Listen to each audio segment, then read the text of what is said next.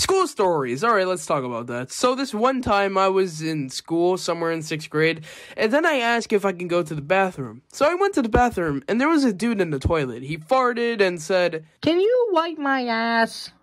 "What?" Well, you see, my mom is not here. She usually does it. Can you help? Um, no you pedophile. I'm leaving.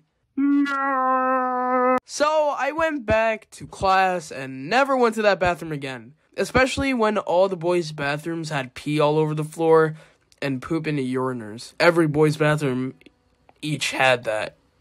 Gross.